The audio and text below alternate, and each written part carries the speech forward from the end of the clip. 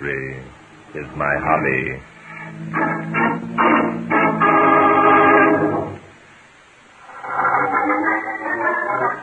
Today's story took place last fall.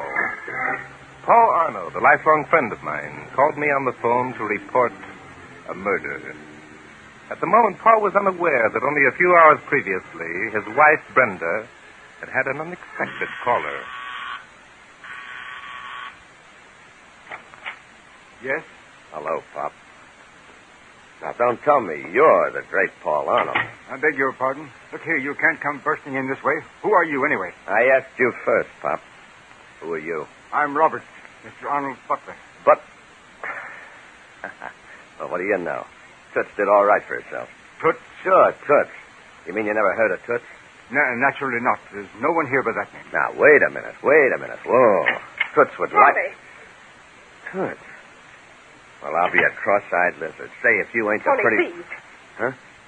What's the matter? Tony, we're not alone. Oh, oh, oh! I, I get it. His nibs there I tell your old man. Huh? If this person is annoying you, Mrs. Arnold. no, no. I- It's, it's quite all right, Robert. You may go. But, madam. You may go, Robert. Very well, madam.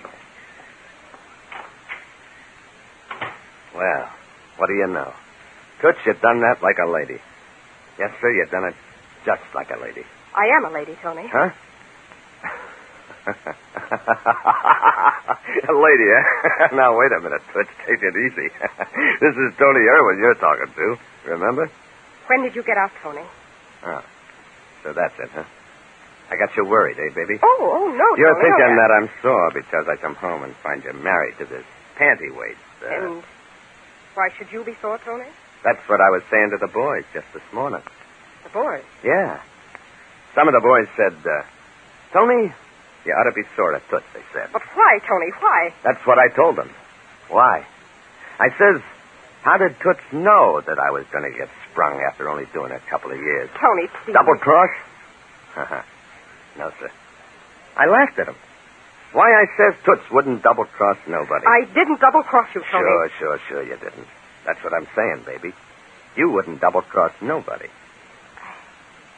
Glad you feel that way, Tony. You bet. baby, I'm proud of you. you got class. I uh, always figured you'd make the grade if you got the break. Yes, Tony? I ain't like some guys. Some of them boys. you know what they wanted me to do? What? Take that Chuck Pizzera, for instance. there's a character. Well, what did Chuck say? Why, he says, look, Tony, don't be a dope. Toots is in a chip, he says. Look, he says, she used to be your girl, didn't she? Okay, go on up and clip her for a few hundred bucks. She'll never miss it, he says. And what did you say, Tony? Nothing doing, I told her. Not me. I ain't that kind of a guy, see? Thank you, Tony. I ain't that kind of a guy, I says, who'd stool on a friend. Not even if she, uh, did double cross me. Tony, I didn't. So what if Toots would pay off to keep me from telling about the weekend we spent together? Tony, that's not so. sure, sure, sure it ain't. yeah, but the thing is, this Paul Arnold don't know it ain't so. What do you mean? Well, it's like this, baby. Suppose this Paul Arnold was told you used to be a burlesque dancer. Oh, Tony, you wouldn't. Suppose he got to know about you and Jerry the Duke in that nightclub raid. Oh, Tony, please. Suppose he told and was told about you and me, and I showed him some pictures. Paul wouldn't believe you. He'd throw you out of the house. The way I figure it, baby, Arnold could check them things. He'd find they was true. Then, when I mentioned about that weekend. Stop it, Tony. Stop it. Ah, what's the matter, baby? What do you want, Tony? Want? Me? not a thing, baby, not a thing. Yes, you do. What is it? Baby, you got me all wrong. You know, I wouldn't put the bite on you for nothing. Of course, since it's uh, getting along towards Christmas. Oh, I see. Very well, Tony. I'll give you a Christmas present. Ah, swell, baby. Swell. Wait. The safe is over here behind these curtains. I'll I'll be back in a minute. No, you don't. I'll just go along, too, huh? Maybe you got some ideas about uh, telephoning? Hey. Ah. this is a kind of a cute idea, ain't it? Go back where you were, Tony. I'll not. Yeah, yeah, yeah, yeah. Kind of a cute idea. Big, heavy curtains hanging on the wall, just like there wasn't this little alcove behind them. If you think I'm going to open this safe with you watching me, you're crazy. Yeah, kind of cozy, too. Just big enough for us two. Tony. Tony, don't look at me like Come that. here. Tony, you keep your hands off Come me. here, come here. Just us two. Oh, no. Like it used to be, huh? Come here. Take it easy, baby. Take it easy. Maybe we can make another deal. What's that? There's someone. Hey, who turned off the lights?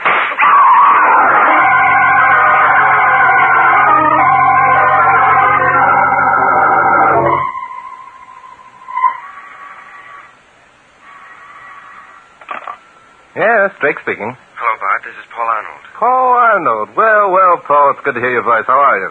Right now, I'm not so good, Bart. Hmm? There's a dead man lying in my living room with a bullet through his heart. What? Yeah, he was murdered. Murdered? How do you know? Well, my wife was standing beside him, and my butler was standing in the doorway and saw it.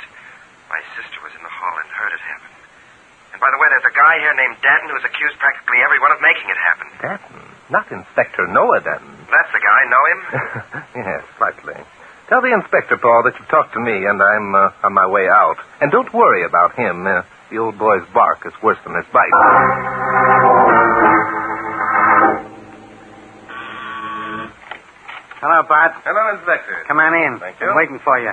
You got my message, huh? No, Inspector, what message? What message? Didn't the babe call you? What babe? Arnold's sister. I was busy and I asked her to get in touch with you. I thought she did. I'm sorry, Inspector. I haven't heard a female voice in a matter of hours, worse luck. Oh, no? Then how'd you know about this murder? How do you happen to be here? Paul Arnold called me. Arnold, why, that... Hey, what's he think he's getting away with? Hello, Bart. Glad to see I'm glad to see you, Paul. It's been a long time. More than a year. I've been in the service, you know. Yes, I certainly do know. Wasn't I at your going away party? what a time. Uh, pardon me for interrupting. You two gents don't happen to know each other, do you? Paul and I are old friends, Inspector. We've known each other for years. We were roommates in college, Inspector. Well, isn't that sweet? Unless somebody thinks up some excuses mighty fast, somebody's going to be cellmates in Sing Sing. Now, look. Always the man of duty, eh, Inspector? By the way, have you identified the corpse? Sure, it was a punk named Tony Irwin. He was doing a stretch for grand larceny and got let off for good behavior. I see. And what was Tony Irwin doing here? Well, obviously his motive was robbery. His body was found lying near the wall safe. Yeah, and there was a gun lying beside him with one bullet discharged. Look, Bart, come over here. Yes, Inspector. You better come along, Paul. Yes, I think I'd better. Your friend, the inspector, has ideas. and I can guarantee you'll have a lot more before we get much farther in this case. Yes, Inspector? You see these portieres hanging against the wall? Yes, yes, I see. Look like decorations, don't they? Hmm, yes, they do. Okay, now I swing them out like this. On that crane they're hung on, and what do you see? Well, well. A dead man on the floor, a gun beside him, and a small safe fitted into a sort of an alcove. That's right. Now, when I got here a couple hours ago, things looked exactly as they do now. Well, and what have you been doing for the past two hours, Inspector? What have I been doing? I've been lining up the suspects. I've been waiting for you. I've been looking for oh, All clues. right, Inspector. All right. Now, who are your suspects? Well, Mrs. Arnold admits being right here when it happened. now, just a minute, Inspector. Brenda didn't do this. You can't Keep say... your shirt on, Bob. I didn't say she did it. I only said she was a suspect. How did Brenda happen to be here, Paul? Well, she came into the room and saw movement behind the curtain and decided to investigate. Mm-hmm. What happened? This Tony, whatever his name is, was tinkering with the safe. Just as Brenda looked behind the curtain, the lights went out. There was a shot. Brenda screamed and ran out of the room. That's her story. Now, look here, Dan. Never mind, Paul. The inspector sounds much worse than he means to. Oh, is that so? Inspector, Now, have you checked the fingerprints on the guns? That's being done now. Hmm. How about the safe? What about the safe? Well, uh, if Mrs. Arnold were telling the truth, as you seem to doubt, Inspector, Tony's prints would be on the safe. Huh. That's right, isn't it? Mhm. Uh, Well, uh, uh, I'll have the boys check. Good. And uh, tell me, who are your other suspects? Roberts, the butler, for one. Why? He claims he heard Mrs. Arnold talking with someone in here. Just as he opened the door, the lights went off. Roberts says he saw someone standing near the door to the hall across the room. Then the shot came. Hmm. Did Robert see where the shots came from? Yep, he says the guy that was standing near the other door fired it. But he didn't recognize the other party. No, he only got a glimpse. Inspector, why do you suspect Roberts? Because he must have been lying. That gun right there is the one that killed Irwin. Oh, you're sure of that, Inspector? Sure, I'm sure. You know I don't make idle statements, Bart. no. Whom else do you suspect? Arnold's sister Agatha. Oh, that's ridiculous. Aggie's so scared of firearms, she won't even look at one. Yeah?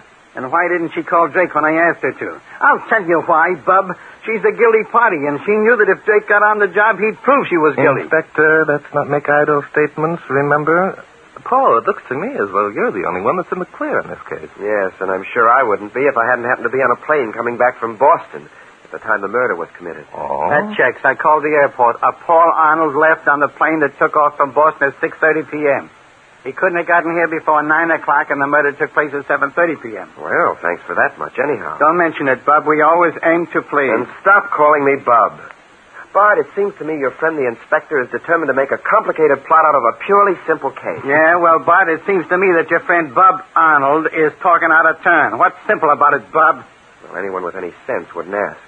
This man Irwin is an ex-convict, sent up for larceny. Obviously, he came here with the idea of robbing my safe. Okay, so then what happened? We already know what happened. Someone shot him. See what I mean, Bart? Everybody wants to get into the act. I'm sorry, Paul. The inspector is right. Thanks. Why Tony Irwin This is here is unimportant. Somebody murdered him. It's the inspector's job to find out who. Okay, I guess you're right. The only thing that we're sure of is that you're not the guilty party because you were on that plane. Well, Brenda isn't guilty either. I appreciate how you feel, Paul, but still the inspector. I beg your pardon, sir. Yes, Roberts, what is it? Uh, there's a Mr. Harrison on the phone, sir. He'd like to talk to you. Harrison? I don't know any Harrison. What's he want? Well, he said something about a ticket, sir. A t- oh, oh, yes. Of course. I, I'll talk to him, Roberts. Very good, sir. If you'll pick up the extension. No, I'll take it in the library. Very good. Excuse me, Bart. I'll be back in a minute. Take your time, Paul. No hurry. Harrison, eh? He doesn't know him. Inspector, what are you doing? I'm listening in on that conversation over this extension telephone. Inspector, gentlemen, don't do that sort of thing. I'm not a gentleman. I'm a cop. Well, at least keep your hand over the mouthpiece. I've got my hand over the mouthpiece. Ah. Something interesting, Inspector? Yes, something very interesting. Well, I'll be. Well, Inspector. But how good a friend of yours is this Paul Arnold? Why, the best. I've known him for years. Think he's on the up and up, eh? Yes, yes, I gamble on that. That's too bad. Why? But I hate to tell you this. Arnold wasn't on the plane. What do you mean he wasn't on the plane? That guy Harrison that Arnold was talking to, he used the plane ticket that Arnold bought. He just called to thank Arnold. But Paul Arnold was here in New York at the time Tony Irwin was murdered.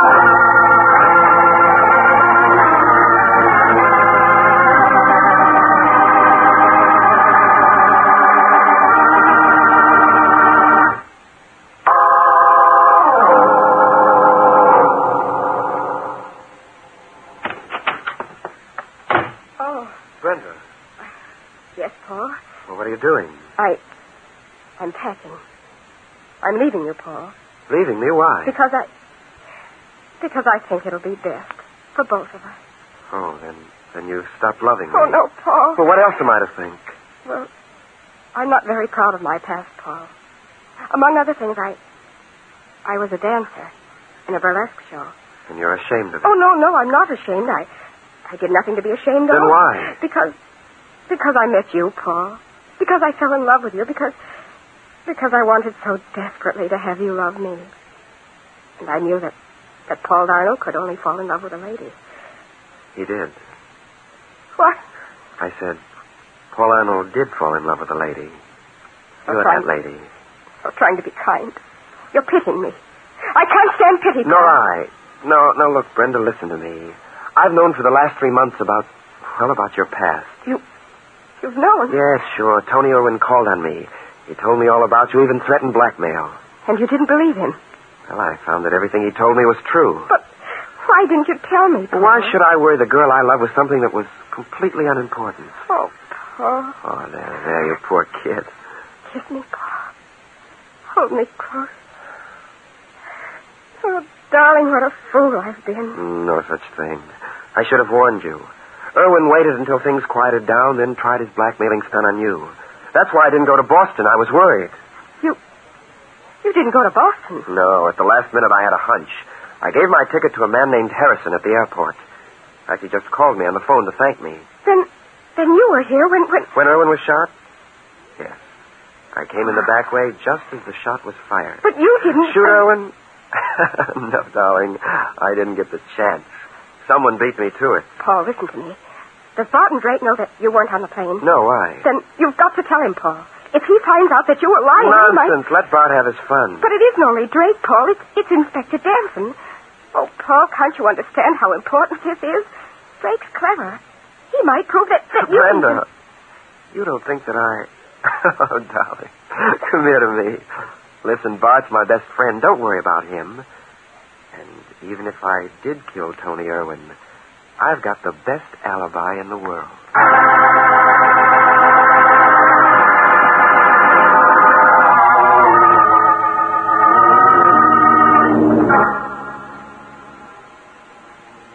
Look, Bart. When are you going to give up and admit that your friend Arnold is the guy we want? Why should I, Inspector? Why should I, he asked. Because all the evidence we've uncovered points to his guilt. That's why. What evidence, Inspector? What? ev- Now, look, Bart, I'm a patient man. You know that. Yes. Paul Arnold had a motive. He wasn't on that plane, and And we're keeping that knowledge to ourselves, Inspector. I don't want Paul ever to suspect that we broke his alibi. Oh, you don't? This isn't a game, you know, Bart. Just because the guy's a good friend What other evidence we the points to Paul's guilt, Inspector? His sister knows we were he, he was here for one thing. I just talked to her. She admits that that's why she didn't do as I asked and call you. Because she thought that Paul had shot Irwin? Hmm? Sure. She didn't want to see her own brother go to the chair. Oh, Inspector, that's weak. Very weak. Oh, yeah? Well, there's the gun lying beside the corpse. From which the fingerprints have been carefully wiped. So far, you haven't mentioned anything that would stand up in court. Okay, okay. How about the fact that no fingerprints were found on the safe? Mm, yes, that proves that Mrs. Arnold was lying, doesn't it? She just said she stepped around the curtain and saw Irwin tinkering with the safe. Yeah. But if you'd just let me talk to... want to see me, sir? Yes, Robert. Will you ask Mr. and Mrs. Arnold to step down here, please? Yes. Thank you. Now, Inspector, what was it that you were about to say? I was going to say if you just let me talk to Arnold, I... You'd sweat it out of him, eh, Inspector? well, how are you going to find out if a man is guilty if you don't ask him any Well, questions? you'll get your chance to ask questions in a very few minutes, Inspector. I will? Mm-hmm. As soon as Paul and Brenda get here, I'm going to have the crime reenacted. That ought to be fun. I can hardly wait. Now, let's not be sarcastic, Inspector. I'm not only... Hello, Paul. Brenda. Come in, please. Bart, uh, Brenda and I have just had a little talk. There's something we want to tell you. I'm sorry, Paul, but that'll have to wait. We've something more important to do Now, now. wait a minute. Wait a minute. If the guy wants to talk, let him. It's really quite important, Mr. King. I'm sure it is, Brenda, but it'll still have to wait. Inspector, will you ask Roberts to step in here, please? Now, listen, Bart. And, Inspector, will you also ask Paul's sister Agatha to stand in the doorway to the dining room? That's where she claimed she was when the shot was fired, wasn't it? Sure, but... Fine. Hurry along, Inspector. We'll have everything ready by the time you get back. Okay, okay. Only I'm more used to giving orders than taking them. now, Brenda, if you'll stand over there near the curtains in the exact spot where you were when the lights went out. I will. Only if you'll listen to what Paul has to say. I'm sorry. What Paul has to say we'll have to wait. Now, wait a minute, Bart. This may change your whole outlook on the situation. I'm sorry, that's impossible too, Paul. Listen, I appeal to you. If Brenda won't cooperate, He'd I cooperate if he weren't so doggone rude. I'm sorry. There are times when a man in my position has to appear rude. Not to my wife, you don't. Whose wife it is doesn't matter. It does in this case. Now, listen, Bart. All right, Robbie, inside. Uh, just a minute, Inspector Danton. Pipe down, Gramp, and do as you're told. Danton, take your hands off Roberts. He's done nothing. Well, now, what's happened to the big happy family I left a few minutes ago? Never mind the wisecracks, chum. Bart, I thought you were a friend of mine. Friendship ceases where murder's involved, Paul. Now listen to me, all of you. You're going to do as I say, or Inspector Danton will take the three of you down to headquarters and lock you up. Now you're talking my language, Bart, old boy. Uh, so this is when I get when I ask a friend to help me out. So what's the use, Paul? If this is the kind of person Barton Drake is, and what we have to say won't matter anyhow. Brenda, you're 100% right. All right, all right. If it's going to make you any happier, what do you want us to do? Thank you, Paul. Brenda, will you uh, stand over near the curtains, please? Yes, all right. This is where I was when the shot was fired. Fine. And where was Irwin standing? Directly in front of the safe. Hmm. How were the curtains arranged? Well, they, they were halfway open. About like this. Thank you. Stay there, please.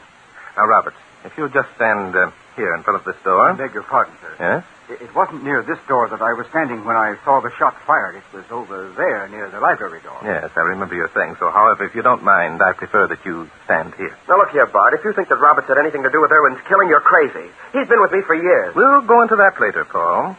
Inspector, where's Paul's sister, Agatha? She's out in the hall near the dining room door, bored stiff. But you- Look here, sir. If it were Miss Agatha, I I mean, the dining room door is right behind where I'm standing. I, I mean. Well, what do you mean, Roberts? Are you implying that Agatha murdered, murdered Tony Irwin? Oh, no, sir. Of course not. Then keep quiet. Say, everyone's getting mad at everyone, aren't they? Hmm. Paul, will you go over and stand near the door to the library, please? Okay.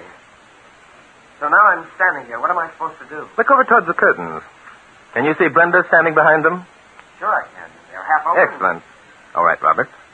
Tony Irwin was supposedly standing in front of the safe, farther back in behind the curtains, when you stepped into the room. Is that correct? Uh, yes, that's Mhm. correct.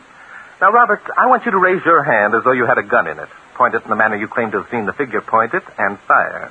Yes, sir. Uh, the figure was standing here. He aimed deliberately. Good heavens. Well, Robert. You. You tricked me. Look out, he has got a gun in his hand. Hey, someone turn off the light. Look light. out, Agatha. He's coming at you.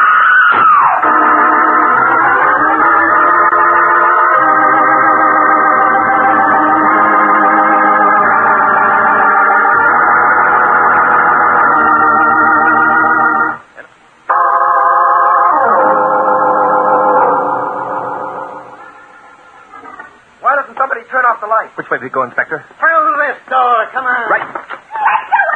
It's Agatha. He's holding her in front of him. Stand back or I'll shoot. So will I. Look out, Inspector. You'll hit the girl. Not me, brother. All right, Robert. You got one chance. That does it. You blundering idiot, you hit Agatha. No, I didn't. I hit Robert. Nice work, Inspector. Come on. Agatha. Agatha, are you all right? Yes, yes, I'm all right. Is, is Robert dead? Yeah, he's dead, lady. Inspector Danton never misses.